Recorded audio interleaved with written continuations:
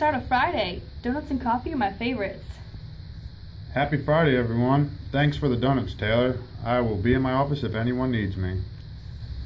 I'm so glad the week is almost over. I thought it would never end. So, Sandra, what happened the other day in the meeting with John? I wanted to tell you guys, but was waiting for John to leave. I strongly believe that Sandra is the epitome of a charismatic leader because she has influence over others based on the individual's inspirational qualities rather than formal power or position. Her high level of self confidence, innovative and unorthodox means to achieve goals, and inspiring her coworkers are just a few of her contributing attributes. Good morning, Kanye. Taylor brought donuts. Hurry up and get one before they're all gone. I ate before I got here because I know that when I get to work, it's time to work. Wow, did anyone else think that was really rude? Yeah, but we're all kind of used to it here. I guess we should get back to our desk before he really blows up on us. I agree. Let's pick this up later, ladies.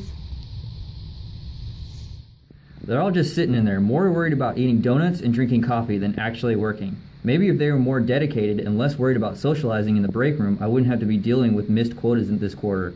Jesus! One more hour till the weekend, ladies. Hey, did you need that file on our new client today, or is Monday okay? It's almost completed. I told you last week that it's due today, so no, it can't be Monday. I need it now. Jeez, Kanye, take it easy on her. She said it's almost done. What's going on with you today? Are you okay? No, I'm not okay. The numbers weren't hit this quarter, and you guys act like you don't know what you're supposed to be doing. On the face of it, the word control can often sound negative, and when it comes from Kanye, sometimes it can be. Well, actually, most of the time it is. However, control is an essential role in the overall process of management and involves the regulation of activities and behavior to determine the degree of conformity to an organization's objectives. In other words, without controls, there is very little coordination that can take place within an organization. However, Kanye needs to keep in mind that control is a means of achieving a goal and is not the goal itself. Maybe I should just go talk to John about all of this.